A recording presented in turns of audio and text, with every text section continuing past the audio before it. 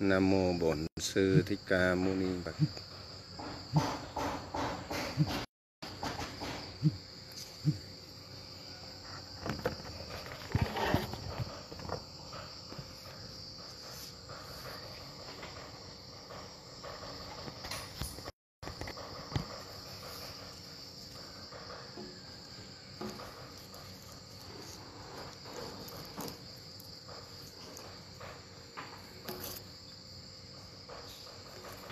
Thầy à, chào các học trò. Chúc các học trò một ngày mới an vui.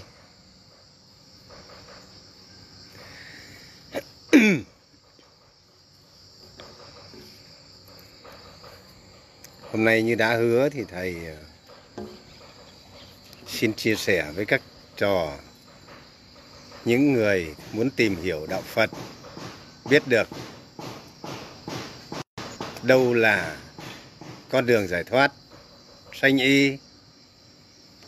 Đâu là thoát khỏi sanh y. Tại sao cư sĩ mà lại phải tìm hiểu giới luật tỳ kheo? Chúng ta phải hiểu làm sao? Tại sao cư sĩ lại phải học giới luật tỳ kheo? Phải tìm hiểu. Bởi vì chúng ta tìm hiểu giới luật tỳ kheo để chúng ta biết được rằng sự sanh y giải thoát ra làm sao để chúng ta hướng tới. Và cũng là để chúng ta tìm cho chúng ta những bậc thầy tỳ kheo. Thật là xứng danh tỳ kheo. Cho nên chúng ta u mê, chúng ta không tìm hiểu thập giới sa di, dù là cư sĩ. Chúng ta không tìm hiểu thập giới sa di, không tìm hiểu luật tạng tỳ kheo, thì chúng ta sẽ không tìm cho chúng ta được một bậc thầy sống đúng giới luật. Sống đúng đạo đức, cho nên chúng ta lại vô tình. Chúng ta lại đi tìm những bậc thầy tham lam mà chúng ta không biết. Thì như vậy, chúng ta đi theo cái người tham lam thì làm sao có được giải thoát. Cho nên xưa nay vì che giấu, vì sợ, vì không sống theo giới luật, vì không sống theo đạo đức, ly tham, đạo đức thanh tịnh cho nên người ta cấm, người ta cấm các cư sĩ bàn luận, nghiên cứu giới luật tặng tỳ kheo của sa di. Vì làm sao người ta cấm? Vì lòng tham lam muốn che giấu cái sai của mình. Cho nên không dám dạy cư sĩ phật tử giới luật tạng tỳ kheo, giới luật sa di. Vì nếu như dạy cư sĩ Phật tử giới luật sa di, giới luật tỳ kheo cho cư sĩ bản luận giới luật sa di, giới luật tỳ kheo thì những cái người thầy tu phạm giới, phá giới thì sẽ bị lộ và người ta sẽ không còn danh lợi, không còn ai tin theo. Như vậy thì không khác gì lại ông tôi ở bụi này. Thế cho nên người ta sợ, người ta sợ mất danh mất lợi cho nên người ta cấm. Các nhà kinh sách phát triển đã cấm cư sĩ, phật tử học tập giới luật tạng sari và tỳ kheo. Đây là một cái điều mà người ta vì phá giới, vì không còn tôn trọng giới luật, cho nên người ta che giấu, người ta biến tướng, người ta che đậy, người ta không muốn cho các cư sĩ Phật tử được biết. Cho nên thời Đức Phật, cư sĩ Phật tử là những cái người có công đức xây dựng chánh pháp, đóng góp cho chánh pháp. Cho nên cư sĩ Phật tử là những người hướng tâm đi theo các bậc tỳ kheo, các bậc sa di. Như vậy thì cái việc giới luật tạng tỳ kheo cần phải được nói rõ để chúng ta cư sĩ nhìn nhận đâu là những bậc thầy tốt lành, đâu là những bậc thầy ly tham, đâu là những bậc thầy giải thoát để chúng ta tìm theo để nhìn nhận cho đúng. Rồi những cái người thầy mà không chưa tu đúng, không có giải thoát thì cư sĩ Phật tử có thể góp ý, có thể giúp đỡ. Xưa nay có những người trò đã tu xong và quay trở lại độ cho những người thầy có những vị cư sĩ ngày xưa thời Đức Phật đã làm cho sống đúng đức hạnh mà đã làm cho các tỳ kheo phải kính nể. Ví dụ như ngài Thánh cư sĩ Sita, ngài cấp cô độc đã làm cho các tỳ kheo phải kính lễ. Cho nên chúng ta phải hiểu đâu là đạo Phật của sự bình đẳng. Bình đẳng ở đây là bình đẳng trên giới đức, bình đẳng trên giới hạnh, bình đẳng trên giới hành. Cho nên là một cư sĩ tốt thì còn hơn là một người sa môn không có tốt. Thế cho nên Đức Phật mới dạy rằng ai mặc áo cà sa thân không rời uế trượt không xứng áo cà sa. Ở đây thầy Pháp Lưu không bênh vực cư sĩ mà đứng trước cái kỳ mạt Pháp, đứng trước những cái sự xuống cấp về đạo đức. Cho nên thầy Pháp Lưu hoàn toàn ủng hộ cư sĩ góp ý, đóng góp cho chánh pháp. Ngày xưa có những vị vua cư sĩ như vua A Dục mà làm nên điều lành mà dạy dân chúng những điều lành. Cho nên cái việc đó chúng ta không có phân biệt mà sự bình đẳng trong tứ chúng đồng tu, cư sĩ và tu sĩ, nam tu sĩ, nữ tu sĩ, nam cư sĩ và nữ cư sĩ. Đây là một sự bình đẳng trong tứ chúng. Cho nên chúng ta phải hiểu lục hòa là như vậy. Hôm nay thầy xin chia sẻ như lời hứa với các trò là cư sĩ ruột tạng của tỳ kheo. Tại sao Đức Phật lại dạy tỳ kheo không được gì đào mương máng, không được cấy trồng, không được tích trữ lương thực mùa màng. Tại sao tỳ kheo lại không được cấy trồng? Không được cấy trồng làm mùa màng đó, không được đào mương máng. Bởi vì sao? Hôm nay thầy Pháp Lưu xin chia sẻ. chúng ta phải giúp đỡ các tỳ kheo của chúng ta phải phân tích, phải chia sẻ để cho các tỳ kheo tốt hơn, để giúp các tỳ kheo sống làm pháp sông khói, làm gương cho những người đi sau. Một cái người tỳ kheo của đạo Phật đã là khất sĩ hoặc ẩn sĩ thì là một người chuyên tâm tu trì, là một người không còn ham muốn việc đời, là một người xuất thế. Cho nên đối với tỳ kheo và những bậc ẩn sĩ chỉ khất thực, xin ăn, nương nhờ, nhà ở, nương nhờ, ăn uống của đàn na cúng dường, bố thí, giúp đỡ mà không có tham lam, không có làm riêng làm tư, không có tham lam. Cho nên ly bỏ lòng tham là đi cái cửa xanh. Cửa xanh ở đây có nghĩa là sinh sống.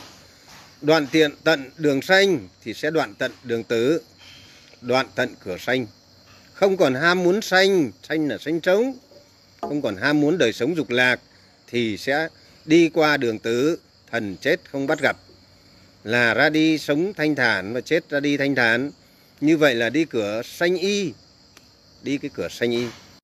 Cho nên nếu anh là tỳ kheo, là khất sĩ, là ẩn sĩ mà anh lại còn đào mương máng, cấy trồng mùa màng, anh mong mùa màng bội thu thì đó là một cái con người chưa xả sạch đường xanh mà chưa đoạn tận đường xanh, chưa đoạn diệt nó thì sẽ không có đoạn diệt đường tứ. Sẽ sống trong khổ và sẽ không thể nào làm chủ được sanh khổ, già khổ, bệnh khổ, chết khổ. Vì sao sanh khổ? Vì mong cầu thì sanh khổ, vì sao già khổ? Vì suy nghĩ nhiều lo lắng làm ăn rồi bất an rồi buộc sầu muộn. Thì anh sẽ bại não anh sẽ mất trí và lú lẫn tuổi già. Anh sẽ không có thanh thản thì tuổi già anh lú lẫn. Rồi anh bệnh tật anh không làm chủ được anh không có pháp trụ không có thiền định thì anh không làm chủ được bệnh tật. Anh không lo tu. Và anh chết thì sẽ anh sẽ chết theo lòng tham. Tham dục. Và dục là nguyên nhân của luân hồi. Dục vọng là nguyên nhân của luân hồi. Cho nên đối với một tỳ kheo đủ duyên xuất gia, một người đủ duyên làm ẩn sĩ, thì không còn ham muốn cấy trồng, không còn ham muốn đào mương máng, không còn ham muốn cái chi cả. Cấy trồng thứ nhất đối với một người có đầy đủ lòng từ bi vô lượng thì cấy trồng sẽ đem đến sự tổn hại chứ không phải là lợi ích chúng sinh. Chúng ta biết cái giới đức hiếu sinh là cái giới đức làm đầu, bao giờ không còn phạm giới sát sinh thì người đó mới trọn vẹn giới. Thế cho nên một cái người tỳ kheo là ly trọn bỏ xả sạch cái giới sát sinh thì là một người không còn cấy trồng. Bởi vì cấy trồng mương máng, đào mương, chết các con vật, rồi làm thay đổi thay đổi tất cả cái không gian, rồi đây là lòng tham riêng tư. Một người tu hành thì chỉ có lập trú xứ, ví dụ như trường lão thích thông lạc, buộc phải san đất, làm nền vì cái hạnh phúc lâu bền của chúng sinh. Cái trong đó là cái thiểu dục là mong muốn chỉ có vậy thôi, làm thất cho người tu và trồng cây bóng mát. Để cho chim chóc vui, người già được có thiền thất thanh tịnh, mát mẻ. Chứ không có trồng cấy để mong cầu lạc. Trồng cấy là một tỳ kheo còn mong cầu dục lạc. Còn ham muốn thì đường xanh cho nên cái người nào trồng cấy thì hãy về trở lột y áo trở về làm cư sĩ bởi vì anh đào mương máng như vậy, anh phạm cái vào cái giới sát sinh, anh phun thuốc trừ sâu, anh làm cỏ đồng, anh tổn hại tất cả. Và khi nào anh phải giảm thiểu đến cái mức tối đa việc sát sinh, sát hại, thì anh mới là cái con người thanh tịnh hoàn toàn, đầy đủ lòng yêu thương vô lượng, từ con kiến, con run, con rán từ cái cây ngọn cỏ cũng không nỡ lòng nào làm tổn hại. Đấy mới là người thanh tịnh hoàn toàn, vô lượng yêu thương hoàn toàn, từ muôn loài, con kiến cũng thương như con người. Cái tình yêu thương ấy, nó bao la. Nó thương, cái trí tuệ ấy, nó bao la như ngàn vạn tinh tú. Nó soi sáng như ánh bình minh, như mặt trời mặt trăng. Thanh tịnh, không còn giới sát sinh lòng yêu thương đủ đầy. Cho nên thứ nhất là đưa đến sự tổn hại, một tỳ kheo mà cấy trồng là đưa đến sự tổn hại. Cho nên đức phật này này tỳ kheo samon gotama không có tham lam cấy trồng, không có đào mương máng, không có cấy trồng, không có nhận trâu, bò, dê lừa ngựa. Nhận cuộc, không có nhận gì. Nhận những thứ đó để làm ăn sinh sống, mà sa môn Gotama chỉ còn một con đường sống nhờ người để tu hành. Buông hết. Ở đây không phải lười nhác, mà đã đến lúc đủ duyên, đủ phước, mà người đời tín tâm thương yêu mình, nuôi cho mình tu, để mình đi đến con đường ly tham, giải thoát. Nên cái việc đây là phước đức của một người tỳ kheo, đây chính là ruộng phước của tỳ kheo nhờ người tu hành mà nhờ người mà ăn tu hành. Nhờ người mà ở tu hành, nhờ người mà mặc tu hành. Không còn làm gì nữa. Đã đến lúc buông xuống hết. Không còn lòng tham. Cho nên anh, một vị tỳ kheo mà anh còn đi cấy trồng như vậy, thì cái thứ nhất là tổn hại. Cái thứ hai nó sẽ sinh ra. Sinh ra sinh ra cái gì? Sinh ra lòng tham, một tỷ kheo mà chất chứa mong cầu mù và chất chứa tài sản. Ví dụ chất chứa lương thực là một tỷ kheo không khác gì người đời, không phải khất sĩ. Khất sĩ thì không chất chứa mong cầu mùa màng, không chất chứa lương thực. Bởi vì khất sĩ, đối với sống chết của một khất sĩ thì sống chết nhẹ như lông hồng. Cho nên một khất sĩ dù chết đói dù chết ở đường thì cũng thản nhiên như không. Cho nên hôm nào xin được cơm ăn, có cơm ăn no thì hãy nhắc mình, hôm nay ta có cơm ăn no, ta sống để có sức khỏe để tu hành. Hôm nào không có cơm ăn thì nhắc mình hôm nay ít cơm ăn, nhẹ bụng, dễ tu hành, thân thể ta sẽ nhẹ nhàng. Ta đỡ phải ăn nhiều. Cho nên cái việc tùy thuận của một cư, một tu sĩ, nó khác người thường nó khác người thường ở chỗ đó. Nó khác cái người phàm phu ở đời ở chỗ đó. Cho nên một cái tu sĩ nó khác một cư sĩ. Một vị ẩn sĩ nó cũng khác một vị cư sĩ. Cho nên tu sĩ hay ẩn sĩ, nó phải thực hiện cái con đường thánh giới của luật tạng như vậy. Cho nên người không hiểu tu ở đời thì người ta bảo, người tu là lười nhác, người tu là thế này thế kia nhưng người ta không nhận ra cái khổ của lòng tham, người ta không nhận ra cái khổ của sự thù hận, sự sát hại.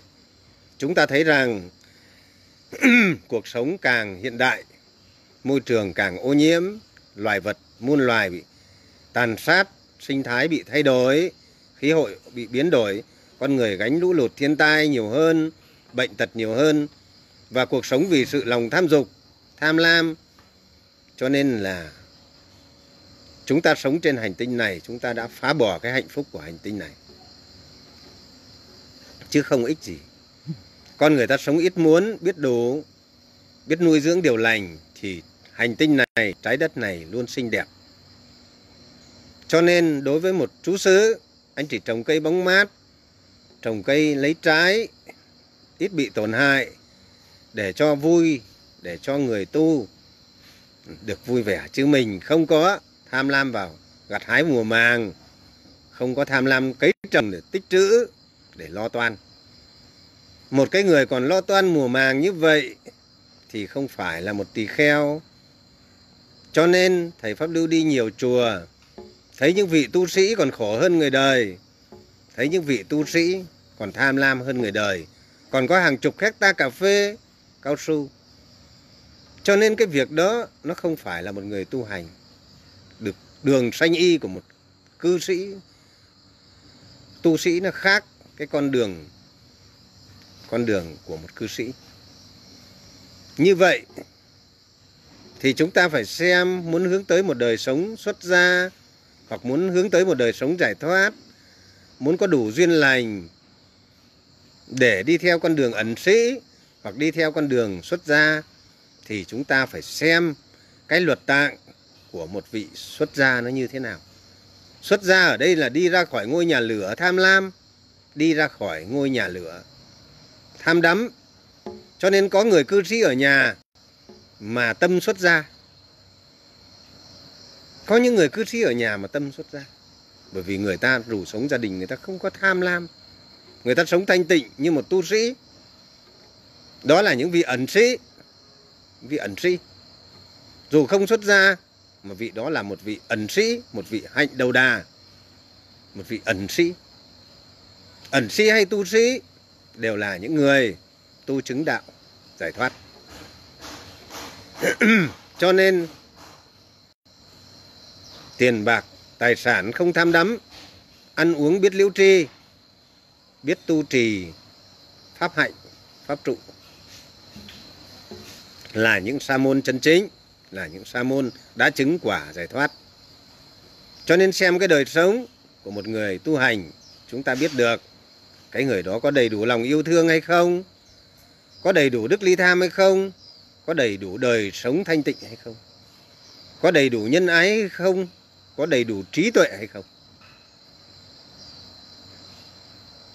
có tham lam hay không, có dục vọng hay không. Cho nên chúng ta phải biết đâu là con đường giải thoát, đâu là cửa xanh đâu là cửa giới đức giới hạnh, đâu là lục nhập. Lục nhập là tránh xa, phòng hộ mắt tai, mũi lưỡi, thân ý. Tránh xa những tiếp xúc, những cái lòng tham lam, dục vọng bất tịnh của cảnh trần. Cảm thọ là quán 19 đề mục hơi thở để tâm ly bỏ các điều uế ác tầm hướng tới sự giải thoát. Cho nên bốn cửa vào đạo trong 12 cửa nhân duyên chúng ta có thể đi.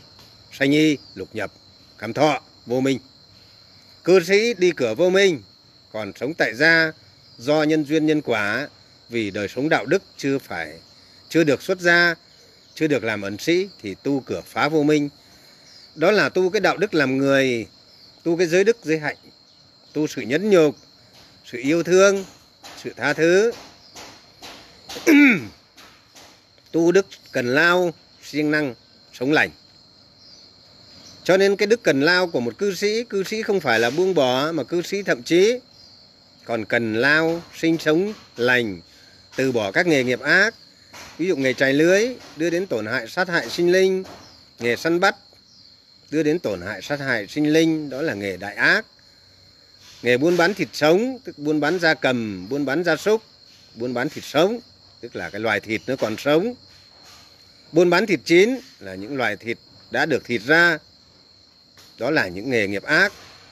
Buôn bán người, ví dụ buôn bán con người, buôn bán nô lệ, buôn bán mại dâm và nấu rượu, buôn bán rượu và buôn bán các chất gây u mê cho con người, đầu độc con người, ví dụ ma túy, làm con người mất trí, rơi vào khổ đau loạn, điên loạn, nấu rượu, buôn bán rượu, buôn bán ma túy, sản xuất ma túy. Cho nên cái việc đó, sáu nghề đại ác, chúng ta nên tránh. Thế còn cư sĩ có thể làm nông, cư sĩ có thể làm các nghề ví dụ như tri thức khoa học, cư sĩ có thể làm công nghiệp, cư sĩ có thể làm những điều khoa học. Nhưng làm thế nào? Khoa học thì nó phải có đạo đức, phải tu cái cửa giới đức, giới hạnh. Khoa học cũng phải là đạo đức thì mới là khoa học, chứ mà khoa học không là đạo đức. Ví dụ khoa học gây ô nhiễm môi trường, khoa học làm mất cân bằng sinh thái thì không phải là một khoa học đạo đức. Như vậy một cư sĩ không biết tu giới đức. Cho nên cư sĩ có thể cấy trồng không giống sa môn tỳ kheo. Cư sĩ cấy trồng nhưng cư sĩ biết giới đức thì cư sĩ tu như thế nào? Đây là một vấn đề khoa học chúng ta cần phải nghiên cứu trong cái thời cuộc ngày nay. Chúng ta biết rằng một cư sĩ cấy trồng là một cư sĩ không tham lam, không không có gì. Đức Phật dạy không có đốt phá nương rẫy, tổn hại sinh linh, không có đốt rừng, không có làm những điều ác độc mà một cư sĩ biết tùy thuận, ít ham muốn và biết đủ vui trên ruộng đồng của mình là đủ. Ngày nay chúng ta với khoa học hiện đại, chúng ta có thể áp dụng các mô hình sinh thái ít tổn hại hơn cho nông nghiệp mà ngay chính phủ hoặc nhà nước hoặc Liên Hợp Quốc cũng dạy chúng ta sinh sống theo điều lành đó là sinh sống cân bằng sinh thái đó là phát triển bền vững phát triển xanh. Phát triển xanh. Cái từ phát triển xanh nó cấp thiết trong cái lúc này hơn lúc nào hết. Đó là phát triển không gây ô nhiễm, không gây tổn hại cho đời sống con người và muôn loài, không gây ô nhiễm môi trường. Thế thì chúng ta phát triển nông nghiệp thế nào cho nó đúng? Ở ngày nay, chúng ta có rất nhiều mô hình phát triển nông nghiệp đúng, sinh thái. Mô hình của israel là một mô hình điển hình. Cho nên chúng ta có thể tiết kiệm nguồn nước, chúng ta có thể dùng các công nghệ để đưa nông nghiệp thành những cái nghề không có tổn hại. Chúng ta từ bỏ thuốc bảo vệ thực vật, chúng ta từ bỏ những cái sự xới xáo, cái trồng mà làm tổn hại đến đất, phân bón hóa học, rồi giết hại muôn loài, tàn sát, người ta biết nuôi dưỡng sinh thái ở bên người Nhật, người ta biết xây dựng mô hình nông nghiệp sinh thái. Người ta không bẫy rắn, không bắt ếch nhái, không bắt côn trùng. Người ta nuôi cân bằng sinh thái để mùa màng bội thu tự nhiên. Đó là sự cân bằng. Nông nghiệp sinh thái của Nhật là nông nghiệp không dùng thuốc trừ sâu, không dùng phân bón hóa học, mà một cái nông nghiệp sạch hoàn toàn. Vừa không tổn hại cây cối vừa tạo ra những sản phẩm không tổn hại sức khỏe con người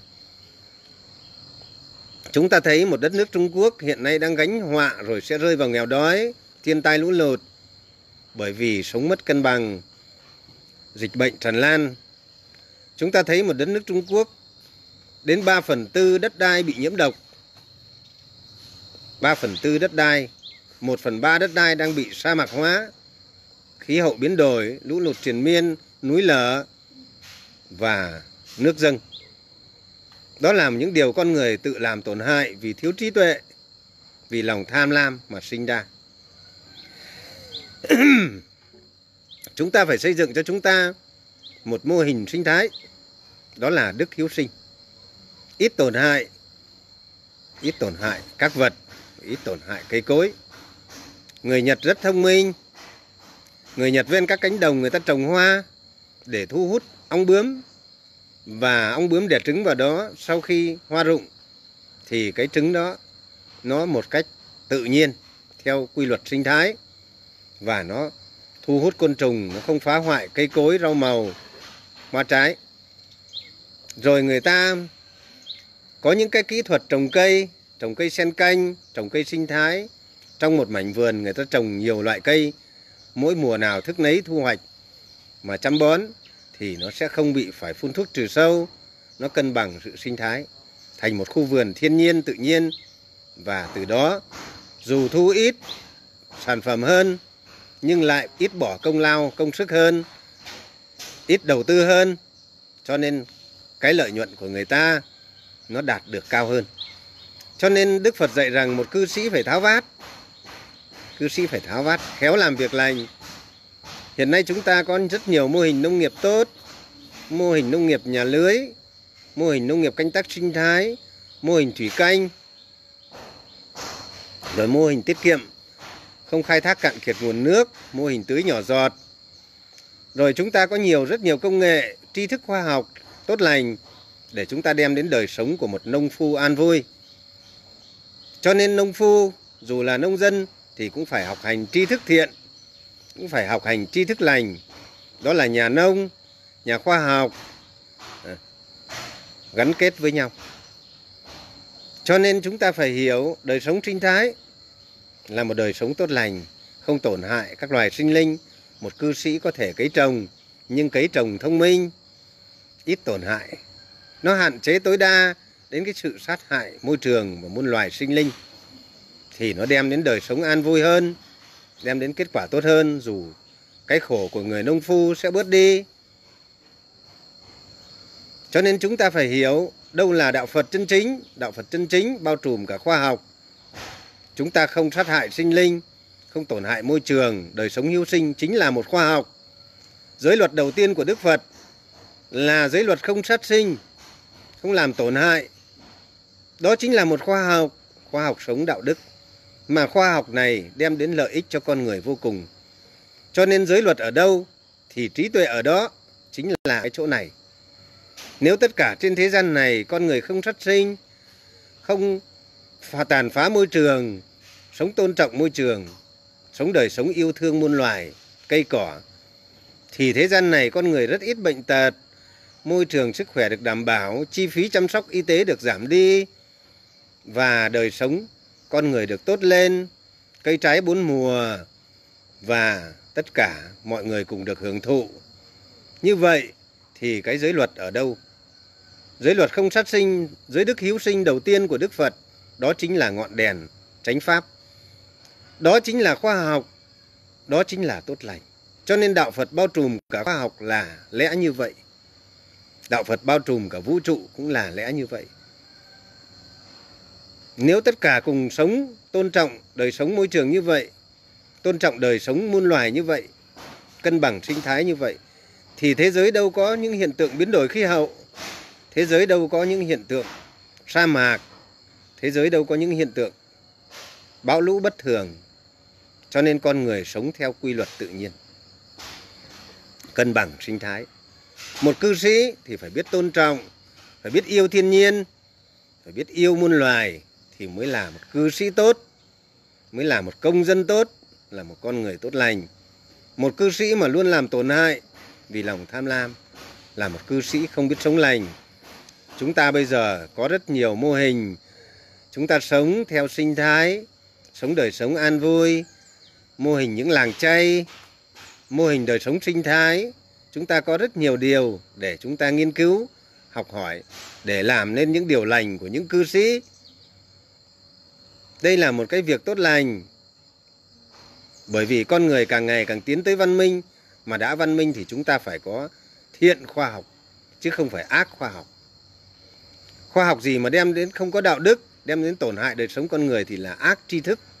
Còn tri thức nào, khoa học nào đem đến đời sống an vui, tốt lành thì đó là thiện khoa học, là chân lý khoa học. Còn khoa học nào đưa đến sự tổn hại ví dụ khoa học xả thải môi trường, khoa học đưa đến chiến tranh, khoa học đưa đến những điều bất an, khoa học chế ra thuốc độc, thì đó là ác tri thức. Còn những cái khoa học nào nó đem đến sự đời sống an vui thì là thiện tri thức. Có lẽ trời mưa rồi, thầy đang ngồi ngoài trời đã có hạt mưa, thầy chia sẻ một chút, rồi mưa rồi đó.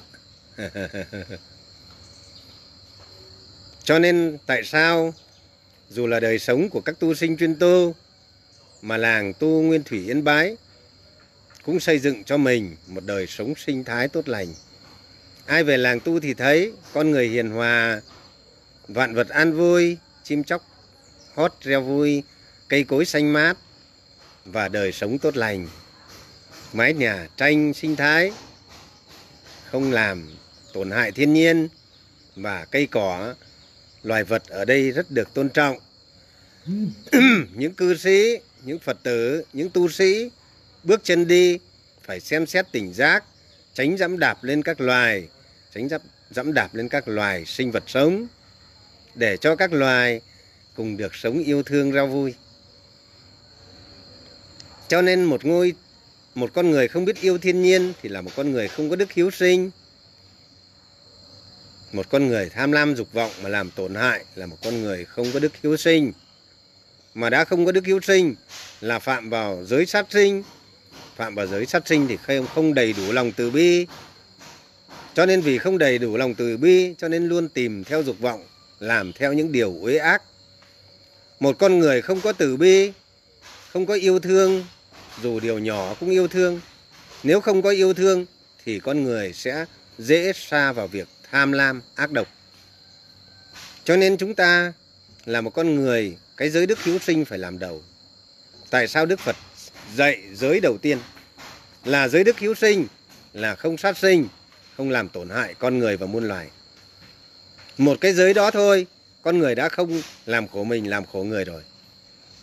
Cho nên đạo phật giới luật ở đâu, trí tuệ ở đó, giới đức, giới hạnh ở đâu? An vui ở đó, trí tuệ ở đó. Cho nên nói giới đức, giới hạnh, giới hành là ngọn đèn, đạo đức là ngọn đèn. Đạo phật chính là một nền đạo đức.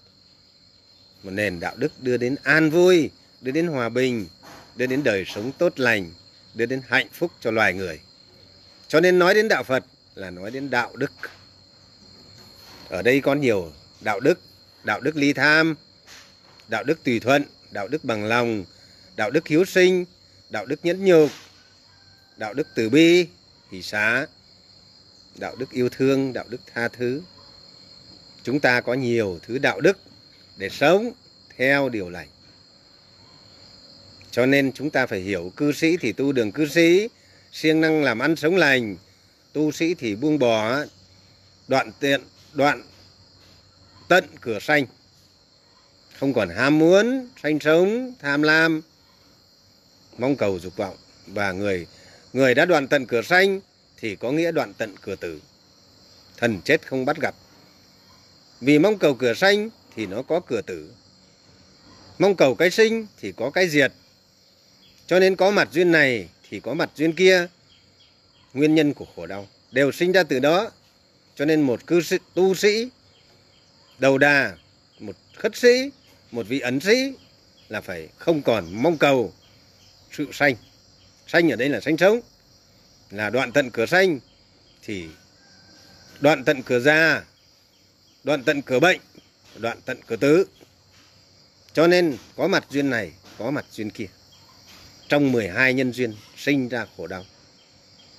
Cho nên một người đã đoạn tận sanh y là một tu sĩ tay bê bình bát hoặc là một ẩn sĩ, ẩn cư hạnh đầu đà thì là một người đoạn tận, không còn mong cầu sanh sống riêng tư. Không còn chấp thân, không còn chấp thủ không còn chấp pháp. Cho nên, một con người không còn chấp thủ không còn tham giữ không còn tham lam, thì cửa sanh đoạn tận, không còn cửa sanh thì sẽ không còn cửa tử. Cho nên thoát khỏi luân hồi cho nên cư sĩ thì phải cố gắng siêng năng làm ăn, sống lành, nuôi gia đình, tùy thuận, nhẫn nhục, bằng lòng, yêu thương tha thứ. Để tiến tới con đường của thập giới sa di, tiến tới ly bỏ, đi cửa sanh y, và tiến tới tấn công các cửa giải thoát. Sanh y, lục nhập, cảm thọ, vô minh. Để dỡ tan ngôi nhà lửa, để phá tan tành những nhân duyên gây ra khổ đau, để sống trọn trong đời sống pháp trụ thiền định, trí tuệ. Cho nên nó có lộ trình của nó, con đường bắt chánh đạo nó có lộ trình của nó.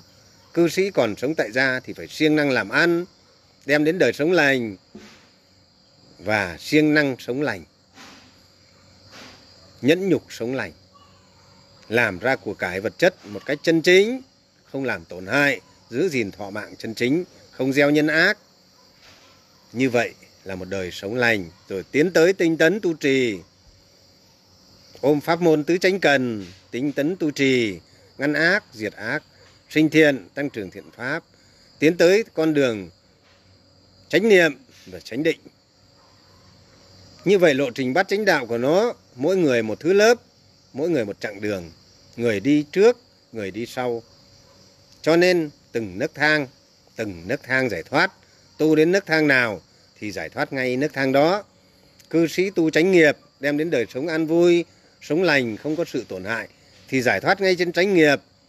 Tu sĩ tu đến chánh mạng thì không bị tổn hại, không bị tổn hại, thọ mạng, không nuôi tà mạng. Thì cư sĩ đó an ổn thì giải thoát ngay chỗ chánh mạng. Cho nên tu đến đâu, nó giải thoát ngay đến đó. Ừ. đấy, nguyễn trạch đang nguyễn trạch đang gửi lời cảm ơn thầy. Cho nên thầy đã chỉ đường cho nguyễn trạch tu chánh nghiệp, bây giờ đã trở thành một ông chủ vườn ổi sống nuôi vợ con một cách chân chính, đàng hoàng, không làm các việc ác, mà xây dựng một khu vườn ổi sinh thái ở tại quê hương và sống lành và mùa màng của Nguyễn Trạch bội thu. Nhờ đời sống lành, người ta mất mùa, mình không mất mùa và gia đình nhà người ta cấy trồng bị tổn hại, mình không tổn hại. Nguyễn Trạch đã xây dựng một đời sống tốt lành, gia đình rất là hạnh phúc, cùng nhau tu trì giới đức hiếu sinh. Cho nên Nguyễn Trạch có hạnh phúc ngày hôm nay. Hôm nay đang nghe và đang nói lời, con cảm ơn thầy vì đã chỉ cho con cái chỗ này, mà nay gia đình con hạnh phúc hơn rất nhiều. Đó là giải thoát ngay tại đó. Cho nên cư sĩ cũng biết làm nông. Nhưng làm nông thế nào? Đây là một sự thông thái, một sự thông tuệ. Nhờ giới của đức phật, nhờ giới đức hiếu sinh, không làm tổn hại, không sát sinh. Sát sinh thì đưa đến khổ đau cho mình, cho người, gánh nhân quả ác báo. Chúng ta thấy những cái nhà giết mổ gia súc. Được một chút, hân hoan một chút vì điều ác. Người nào hân hoan vì điều ác, người đó trước sau cũng gánh họa cho nên được một chút tiền bạc nhờ sát sinh, giết mổ mà hân hoan, nhờ làm những điều ác mà hân hoan. Nhưng mà nhân quả không lường trước được. Phúc bất trùng lai, họa vô đơn chí. Một ngày tai họa giáng xuống, đủ nhân quả đã chín. Như cái cây, cái trái đã đến ngày nó chín. Trái thiện đến ngày nó chín, ta sẽ được an vui, thơm lành. Trái ác đến ngày nó chín, ta sẽ gặp tổn hại. Cho nên nó đổ xuống tai ương bất an, bệnh tật, chết chóc, thê thảm. Những cái con người đó trước sau, cuối cùng được một thì mất mười, trả gấp mười lần. Ở khu nhà thầy Pháp Lưu, ở chỗ quê thầy Pháp Lưu, có hai người bác họ bác họ thầy Pháp Lưu, làm nghề giết mổ gia súc. Đây là chuyện có thật, thầy Pháp Lưu không hề bịa đặt. Ở ngay đầu ngõ nhà thầy Pháp Lưu thế và giết mổ gia súc, giàu có nhất làng, ai cũng khen. Sự giàu có ấy và cả nhà rất là vui. Thế cho nên, một ngày, hai, ba năm trở lại đây, vài năm trở lại đây, ba, bốn người con trai, một người vì tham lam sống ăn chơi, cờ bạc, vì có tiền, cha mẹ cho, quen thói đã, bắt đầu đi cướp của, giết người và bị đi tù. Một anh thì thế này thế kia, một anh, hai anh của thầy phát Lưu đó, anh con bác họ thì nghiện ngập, nghiện ma túy cũng rơi vào bất an, cha mẹ rất khổ sầu, anh em rất buồn chán. một gia đình không được một người con nào ra hồn người con. Ông chồng thì ăn uống no say, rượu chè và ăn các cái thứ nội tạng và béo phì và bị bệnh gút, chân đi lê lết, bây giờ cũng khó có thể làm ăn. Bà vợ thì đèo lợn đi chợ, chẳng may bị xe tông, xe cán vào và bây giờ cưa hai chân, ngồi xe lăn.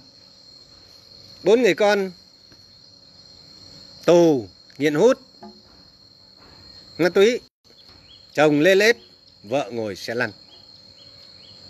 Đây là cái nhân quả. Thực sự là như vậy. Thầy Pháp Lưu nghe nói như vậy và thấy đáng thương, đáng tội nghiệp cho những người không biết nhân quả là gì, không biết chọn đời sống hiếu sinh, không biết từ bỏ sát sinh. Chúng ta cứ bảo làm sao chúng ta cứ thế này thế kia, bệnh tật triền miên, nhưng chúng ta sát hại muôn loài. Chúng ta muốn sống mà chúng ta gieo nhân quả sát hại, thì làm sao chúng ta được an ổn? Cho nên thầy Pháp Lưu nghĩ rằng mình bị bệnh tật là nhiều kiếp mình sát sinh. Cho nên bây giờ mình phải tu để vượt qua. Và quả nhiên, thầy Pháp Lưu từ bỏ sát sinh. Và thầy Pháp Lưu chọn con đường tu lành. Và thầy Pháp Lưu đã vượt qua căn bệnh, quái ác, ung thư di căn. Bây giờ dù còn một phần tư lá phổi để sống, nhưng thầy Pháp Lưu rất mạnh khỏe. Xin nói với các vị như vậy, rất an vui, rất hạnh phúc, vì mình không còn làm điều ác. Tuổi già thầy Pháp Lưu không phiền não lũ lẫn, bệnh tật được tiêu trừ, và thầy Pháp Lưu chết thanh thản vì không còn mong cầu dục vọng, quế ác bất tịnh. Sống ngày nào thì sống, đi ngày nào thì đi, theo ý của thầy Pháp Lưu. Thích đi ngày nào thì đi, thích ở ngày nào thì ở. Duyên hết thì đi, duyên còn thì ở, mà không thích, không còn gì nữa đủ duyên rồi. Xong việc rồi, xong cái việc vui rồi, đi qua hồng trần, vui hạnh phúc rồi, thì thích đi lúc nào thì đi. Làm chủ được. Sanh tử luân hồi. Cho nên chúng ta phải biết tại sao đức phật dạy như vậy tại sao kinh phật lại ghi như vậy tại sao lại dạy tỳ kheo như vậy? Tại sao lại dạy cư sĩ như vậy? Chúng ta phải hiểu, giới ở đâu, đạo đức ở đâu, ngọn đèn ở đó, nơi nào có đạo đức, nơi đó có an vui. Nơi nào có đạo đức, nơi đó có khoa học. Nơi nào có đạo đức, nơi đó có bình yên. Nếu đạo đức con người, xã hội mà xuống cấp, thì dù xã hội có phát triển đến đâu, khoa học có phát triển đến đâu thì chúng ta xã hội cũng không có lấy hạnh phúc. Như vậy là một xã hội ngu dốt là một xã hội không có trí tuệ. Một xã hội có trí tuệ thì phải là một xã hội có đạo đức. Cho nên đạo phật là đạo đức mà đạo đức lấy ở đâu ra? Đạo đức ở dưới đức làm người làm thánh. Đạo đức ở dưới luật mà ra. Đạo đức ở dưới luật mà ra, bởi vì giới luật dạy con người sống không làm ác, sống không tham lam. Cho nên giới luật chính là trí tuệ. Giới luật chính là ngọn đèn. Cho nên Đức Phật mới nói rằng sau khi ta nhập diệt các ngươi hãy lấy giới làm thầy. Lấy giáo pháp của ta làm thầy. Giới luật là đời sống đạo đức Tại sao nói lấy giới luật làm thầy? Giới luật chính là để dạy con người sống theo đạo đức. Và giáo pháp của Đức Phật là gì? Giáo pháp là của ta là toàn thân toàn tâm, cảm nhận toàn thân toàn tâm, tinh tấn nhiếp phục mọi đau khổ, vượt qua nhân quả đau khổ nơi thân tâm mình. Đó là giáo pháp của Như Lai. Nhiếp phục mọi dục vọng, nhiếp phục mọi đau khổ, phiền não, sân si, chướng ngại, bệnh tật cho nên một người tu chân chính thì là một người tu luôn mạnh khỏe, luôn an vui, luôn sống phúc lạc, đầy đủ phước báo. Một người tu sống an nhiên, không bệnh tật, bệnh tật được tiêu trừ, tinh thần được an vui, già cả không lú lẫn, thích sống thì sống, thích chết thì chết. Đấy mới là người tu. Chân chính. Còn người tu, thân thể già cả lú lẫn, cuối đời lú lẫn, bệnh tật nằm lê lết, trí tuệ cũng có, mất tỉnh thức, chết thì trong khổ đau, rền là ợ ngáp co giật là một cái người không phải người tu, theo đạo Phật, là một cái người không biết đường tu. Cho nên sinh sống an nhiên không làm các điều ế ác. Sinh sống an nhiên, sống theo giới đức, giới hạnh và giới hành. Sống theo lời nói ăn vui, thanh tịnh, chân chính, tránh trực. Sống theo việc làm, an vui, đưa đến phúc lành, chân chính chính trực và sống theo ý nghĩ, tư duy chân chính, tư duy không có khổ đau. Cho nên thân khẩu ý mới thanh tịnh. Cho nên cái người mà còn làm điều uế ác thì phạm những lỗi lầm uế ác, đưa đến tổn hại, đưa đến khổ đau, khổ mình, khổ người và khổ chúng sinh thì là một con người, chưa phải là một con người biết đến đạo Phật. Chân chính. Một con người đó chỉ mê tín cầu cúng, tụng niệm mà hoang tưởng, chứ không phải là một đạo thiết thực. Cho nên Đức Phật dạy rằng, chánh pháp của ta là thiết thực, là vi diệu, là hiện tại. Này tỳ kheo, hãy đến đây để mà thấy.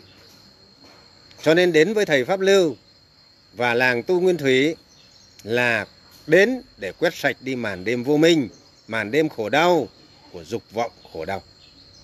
Để sống lành, để hướng tới đời sống chân chính để hướng tới đời sống khoa học, an vui, hướng tới sự văn minh, hướng tới sự thiện lành.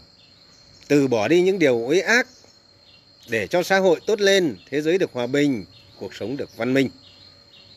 Như vậy, đạo phật đâu có yếm thế. Con người yêu thương nhau hơn, muôn vạn loài vạn vật được sống tốt lành hơn. Đâu phải là sự yếm thế, đâu phải là trốn đời. Cho nên, đạo phật không phải là đạo tiêu cực mà thực ra là một đạo yêu đời, thương mình, thương người, thương muôn loài chúng sinh. Cho nên, không phải đạo mê tín, cũng không phải đạo cầu cúng, không phải một tôn giáo như những tôn giáo khác, mà đạo phật là một thứ nhiệm màu, một sự kỳ diệu của nơi con người, sống thật an vui, sống niết bàn ngay tại hiện tại, sống giải thoát ngay tại hiện tại. Chỉ có con người mới làm được không vị thần, vị thánh nào làm được. Và cũng không có ai giúp được thế giới con người, chỉ có chúng ta. Tự tu, tự chứng, tự tu, tự có an vui. Tự mình làm, tự mình có hạnh phúc. Cho nên các ca môn, như thầy pháp lưu, những vị ẩn sĩ, những vị tỳ kheo chỉ là những người thầy chỉ đường. Những vị cư sĩ trưởng lão, những vị tu sĩ trưởng lão là những vị chỉ đường cho chúng ta là những người làm gương, thân giáo sống lành, là những người nói lời, nói chân chính, thiện lành, từ bỏ những điều ế ác. Thầy pháp lưu xưa kia đã từng sống theo khổ đau, bệnh tật triền miên và làm những điều ế ác không phải tốt đẹp gì. Trước đây, sống cũng có lúc xa đọa, không tốt đẹp gì. Nhưng sau này nhận ra đạo phật chân chính, nhờ đức trưởng lão thích thông lạc nhờ đọc giáo pháp của đức phật và quyết tâm từ bỏ những điều ế ác và hướng hướng tới đời sống tu trì, hướng tới đời sống nhân quả an vui và dứt bỏ những gì cần dứt bỏ mà thầy pháp lưu có sự giải thoát ngày hôm nay. Thầy pháp lưu, sống, sinh sống không phiền não khổ đau tâm tâm thần luôn an vui, thanh thản, già cả không lú lẫn, không bao giờ ngơ trí càng già càng thông minh, càng thông thái. Nhớ cái gì là nhớ kỹ, rõ ràng, không bị lú lẫn và bệnh tật được nhiếp phục, tiêu trừ và chết thanh thản, thích sống thì sống, thích chết thì chết. Đây là một sự thật mà thầy pháp lưu dám nói dám nói thẳng. Cho nên mọi người phải lấy giới và giáo pháp của đức phật. Giới luật của phật là sống theo đạo đức, giáo pháp của phật là tự mình tinh tấn tự mình nhiếp phục khổ đau Cho nên một đằng giới luật là hướng tới đời sống thiện lành và giáo pháp là ôm để vượt qua chính mình. Cho nên hai thứ giới luật và giáo pháp cho nên gọi là giáo giới. Giáo pháp và giới luật chân chính chúng ta phải biết đâu là pháp môn chân chính, giáo pháp chân chính. Những cái pháp môn trì trú, tụng niệm, cầu cúng, cầu niệm đều không phải đạo Phật bởi vì nó đi ngược lại cái sự tự lực của đạo Phật mà nó rơi vào tha lực. Như vậy là rơi vào một thế giới ảo tưởng không có ích lợi gì. Cho nên chúng ta thấy rằng thế gian ngày nay vì đạo Phật bị biến tướng, không có đạo Phật chân chính. Hàng ngàn ngôi chùa, hàng vạn tăng ni mà đời sống con người đạo đức vẫn xuống cấp, con người vẫn khổ đau, cuộc sống vẫn loạn xạ. Chúng ta nhìn thấy rõ ràng cái điều này, hàng triệu tín đồ Phật tử mà con người vẫn cứ khổ đau. Trong khi thời Đức Phật vì giáo pháp của Ngài chân chính chưa bị biến hoại, pháp môn chân chính, đời sống giáo giới chân chính. Không có mê tín thần quyền, gạt bỏ những yếu tố u mê lú lẫn. Cho nên có 1.500 vị tỳ kheo và Đức Phật thôi. Mà cả một xứ Ấn Độ, một cái bang rộng lớn, một cái xứ rộng lớn, hạnh phúc an vui, một vương quốc Ma Kiệt Đà bình yên, hạnh phúc, dân chúng an vui. Và nó trải qua được hơn 100 năm hòa bình, yên vui.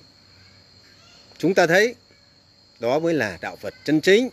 Đạo Phật là có thật do Ngài Thích Ca Mâu Ni hơn 2.500 năm trước bằng con người bằng thật như chúng ta.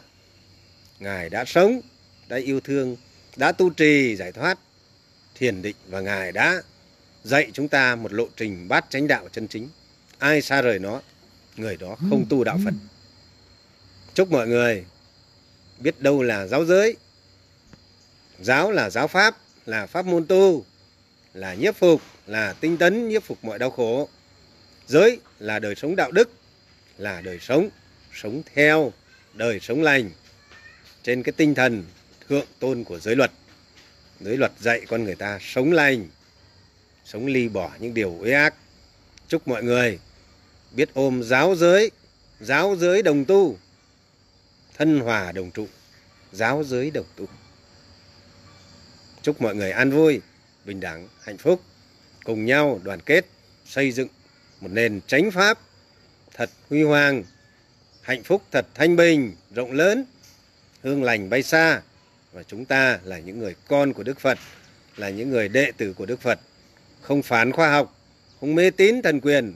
Chúng ta tự xây dựng, lấy đất nước quê hương của chúng ta, gia đình của chúng ta thật an vui, không có sầu não, không có già cả, cô đơn, phiền não lũ lẫn, không có những người bệnh tật lê lết, khổ đau, buồn phiền, than trách, không có những cái chết, những dòng nước mắt buồn tủi lo lắng bất an. Chúc mọi người vượt qua những nỗi khổ, làm chủ những nỗi khổ, sanh già bệnh chết. Chúc mọi người tìm thấy con đường của Như Lai chân chính